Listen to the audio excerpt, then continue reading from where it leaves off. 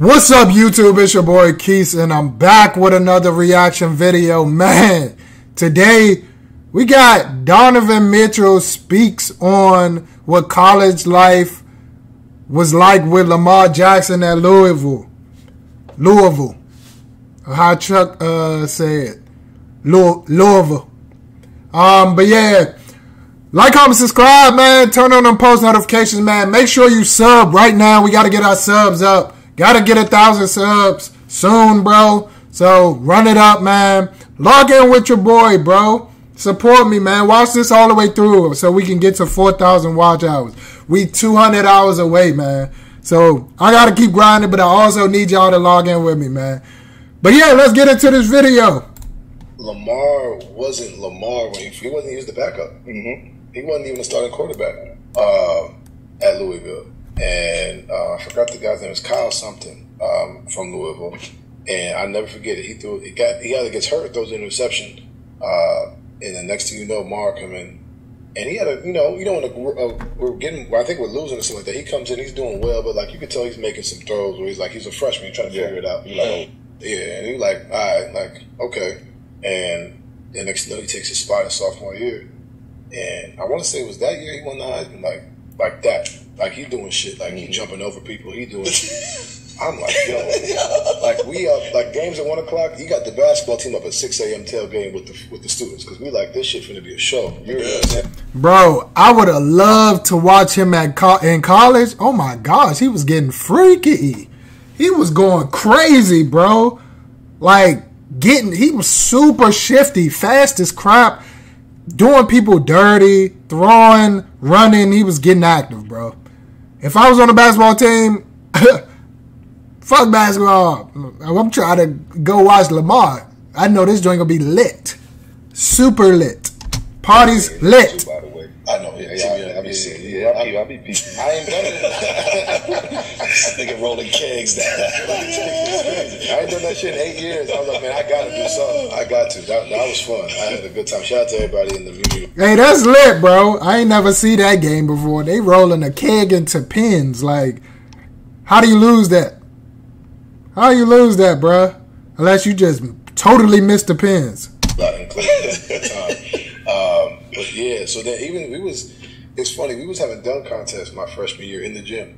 Like me, Lamar, some of the guys on the team, uh, Louisville's team and, and the mm-hmm. football team, and he was out here windmilling, like throwing it off the wall, like yeah. crazy. But then I always say he left school now, so it's irrelevant. But like, bro, he just a, one of them freakish athletes, bro. We all had one at our high school, college. Well, you just a freak athlete, bro. God given ability. He can do whatever. I can jump. I can play football. I can play basketball. I can jump out the gym and dunk crazy. Like, he's just one of them ones, bro. One on one talent and athlete, bro. Freakish athlete. My first year, we was in every class together. We was every class. Always in class. Next thing you know, every assignment for him was off online. Online. for sure. It's like they knew, like, I bet, like, you know, shit I'm over here. We over here, like, fuck he at? you see him every every Saturday shit doing this real. thing. I'm like, I like I get it. You know what I'm saying? Like every class was online after that. They got the equipment manager picking up fucking the syllabus and shit. Like, I ain't see Ma on campus a day after this. that. I was like, hey, do your thing. Do your my man getting that presidential treatment. That's what happened when you the you him, not Jim. You hear me?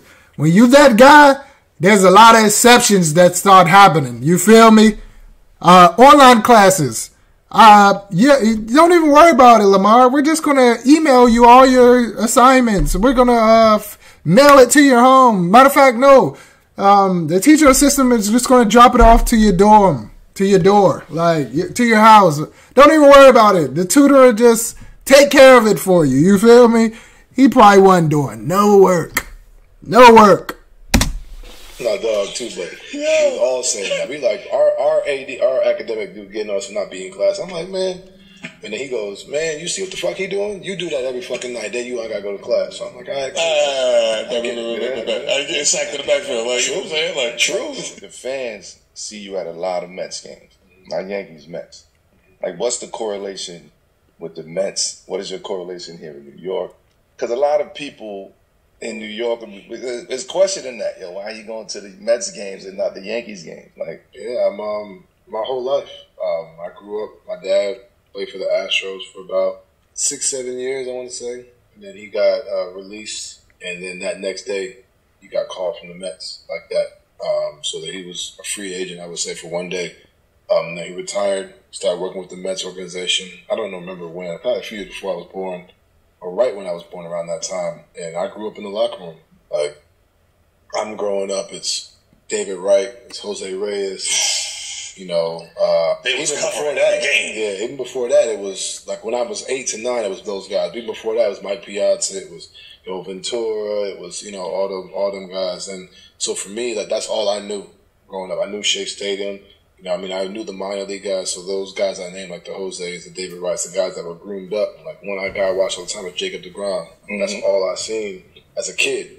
Like I watched them at the minor league level before they became who they were, and the next thing you know, they out here You jumped in Binghamton, yeah, Binghamton. We were in, we were in, watching the Rumble Ponies. you know what I'm saying? They were just the Binghamton Mets back then. You know what's crazy is his father was an MLB player. He had that bread, I'm sure, bro. Right? He probably paid him in training while he was young. Like when your folks got bread and they can put you with the trainers and AU, like you destined to be great, bro. And he is a tough player. He can hoop. He's really good, really good player. Spida Mitchell is like that, bro. So it's just like, and it's like genetics. When your dad is a uh pro athlete, I mean like you got the same genes. You probably gonna be be able to be a pro athlete too with the hard work. Switch the name. So Oh, it's like Binghamton. Yeah. I've been to Binghamton, um, Norfolk, uh, Virginia, Mm-hmm. um, Kingsport, Tennessee, Savannah, Georgia. Um, trying to think of where else I've been. Um, I've been in Nicaragua. Uh, when they Like a played stand-up down there. comedy So tour. you no? know real baseball. Real Like, you- baseball. Yeah, yeah, yeah, yeah. that It was ain't all, no. that was basketball. All this was. I tell people this all the time. This wasn't the plan. That's a fact. This, this, Baseball is my first love, man. Like my first love. Like my first, first love. I'm like baseball. First baseman. That's what I played. that's it. My first love was football, but I had bad headaches, man. I used to get bad he- headaches and migraines from wearing the helmet and just period. I probably had concussions that I just didn't know because we didn't know about that back then. But um, yeah, bro, football was my number one sport. I didn't even like playing basketball. I only wanted to play football until I twelve. uh, No, when I was 11 years old, I started playing basketball, and it went from there, bro. 11 years old, I started playing basketball, and then, yeah, it. I fell in love. At first, I wasn't that good. I didn't really care about basketball like that. I just did it to stay active, but I was competitive, so I love. I I got to be good at everything. So I was still playing all the years I was playing football. I was playing basketball too in Pop Warner, um, in DC. So once I got to like, I would say eighth grade, I started taking it more serious. Then ninth grade, I really loved basketball. That was my sport. I found my sport. That was basketball, and then it became base. Then baseball. The love for baseball. I played varsity baseball 11th and 12th grade year.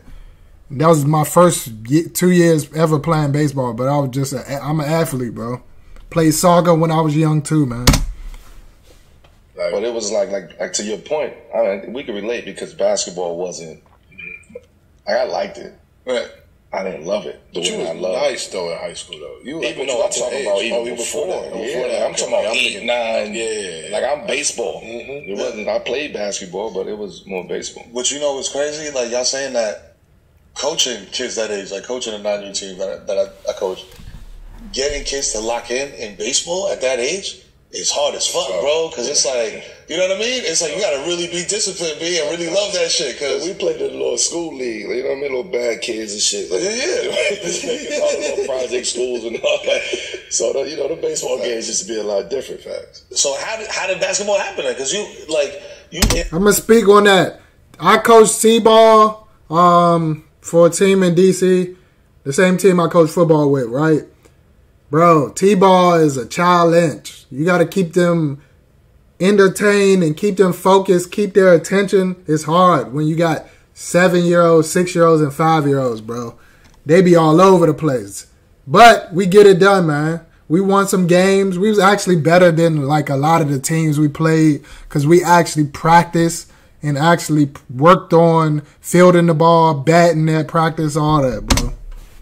It sounds like your path is to Donovan Mitchell, second baseman. For, you know what I mean? Like, because growing up in baseball, your pops being a former pro, working in the front office, that seems like the yo, like here's the here's the path. Yeah, for sure. It was the blueprint all the way up until my sophomore year of high school. To the point where I'm like, spring break, all my friends going on vacation, I'm going to spring training. Like I'm I'm Oliver Perez, Pedro Martinez, those guys are doing batting practice, and I'm sitting there just watching, getting ready for my season until my sophomore year of high school. Uh, I broke my, my wrist, and um, one day I was just like, I want to just play basketball, see what that looks like. You know what I mean? I didn't really have that many offers. I probably had Providence and Iowa at the time.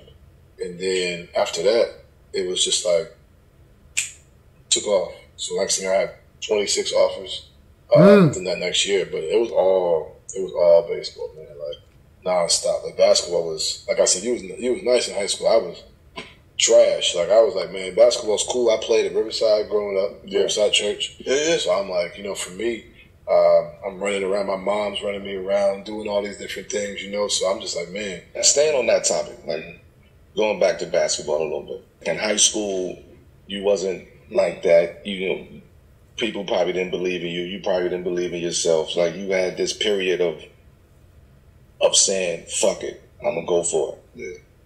What was the switch? And I'm, I'm, what was I'm asking this for a very specific reason. But what was the what was the switch? And when was the switch? when you was in high school? That sophomore year, that was when I was like, fuck, I'm gonna play basketball.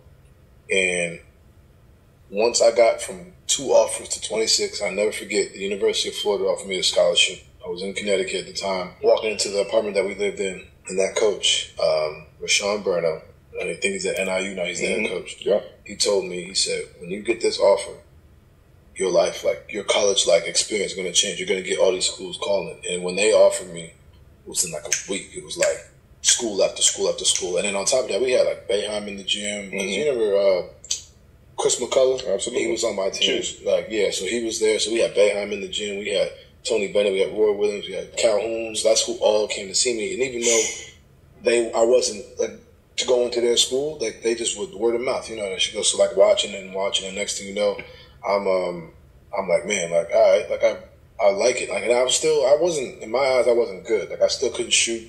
I couldn't really do anything offensive, but I could guard, I could jump. Those were the two things I got. So, next you know, Louisville's watching me. Uh, and we, I had one summer where it just like took off. And like, I started to round myself out as a basketball player. And that's when I was like, you know what? I'm gonna, I'm gonna do. This was a tough video, man. They cover a lot of good stuff, bro. Um, I hope y'all enjoyed the video, man. Shout out Donovan Mitchell. Shout out uh, Lamar Jackson. Shout out Carmelo. Man, this was a cool little podcast clip. I hope y'all enjoyed it. Like I said, man, like, comment, subscribe, bro. Don't forget to subscribe. I hope you watched it all the way through. If you did, man, shout out to you, bro. Lock in with your boy, man. I, I, gotta grind. I gotta keep grinding.